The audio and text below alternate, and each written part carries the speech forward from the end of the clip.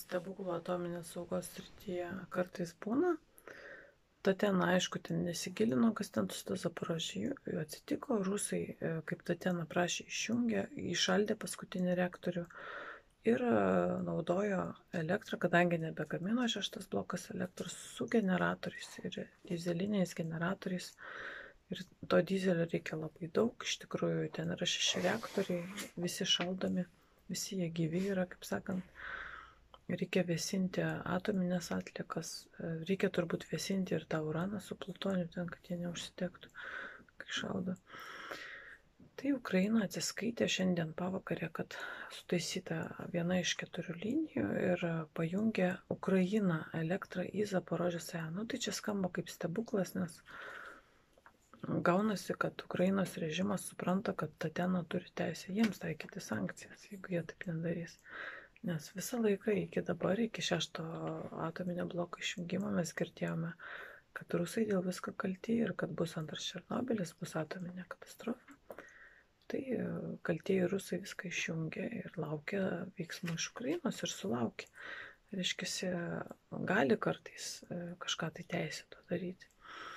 Ar tenai šaudo ar nešaudo, aš nežinau, aš e, truputėlį dabar nesidomėjau. Ten kas kur ką šaudo, nežinau irgi. Tik vienas pastebėjimas. Dabar maždaug susideda mozaika. Kurdai kada pradėjo bėgti? Ar jūs susimastėte, kodėl masiškai čia kurdai bėga? Kažkokia tai naujiena pasklido pasaulyje.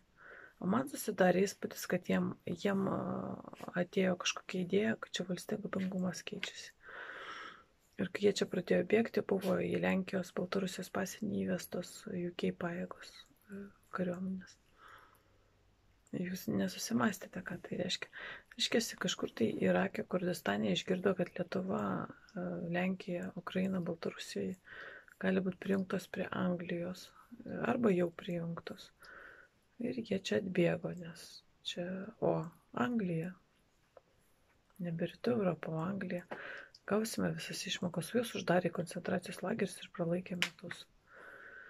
Bet kadangi reakcija buvo nedekvati, gali būti, kad slėpė, gali būti e, kurdai čia tokia kaip kontražvalgybos operacija. Mums kažką tai pasakyti, mes aišku, runkeliai nieko nesupratome.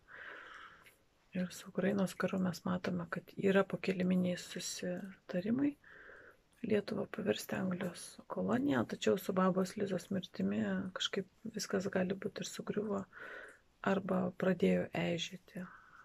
E, nes tos ištinusios karaliaus rankos, ten keitės, perkreiptas veidas, sutrauktas, kažką tai rodo, kad kažkas nesiklyjuoja.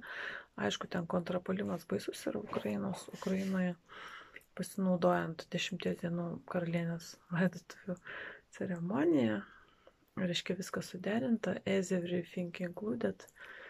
Bet aš džiaugiuosi, kad šiandienos žiniomis Zaporožė nėra iškelta į orą ir kaip tik jinai yra saugesnė šiandieną. Tai, tai aš to ir baigsiu, nes reikia vis dėlto galų gale ir išsimiegoti. Tai tiek iki draugai.